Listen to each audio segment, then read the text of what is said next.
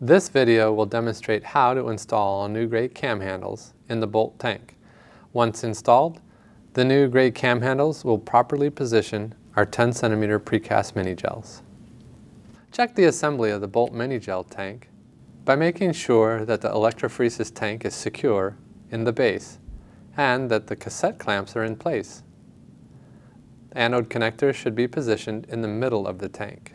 The front of the tank with the cathodes should be facing towards you. Take one cassette clamp out of the tank and, while it is still facing towards you, pull out one side of an existing black cam handle and then the other side in order to remove the handle from the cam plate.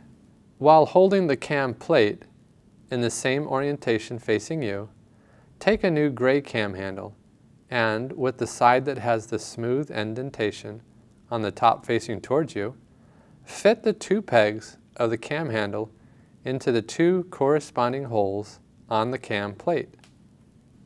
Place the cassette clamp in the bolt mini gel tank. Repeat this procedure for the other cassette clamp.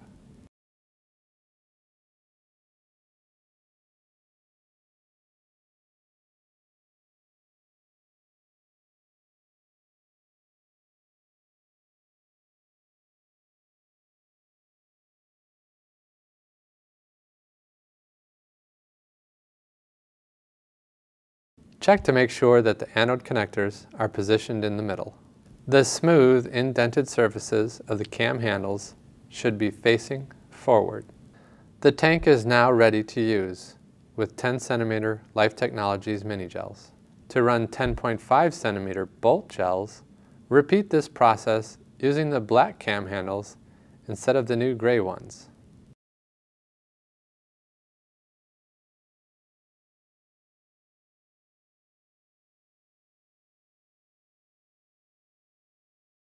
Música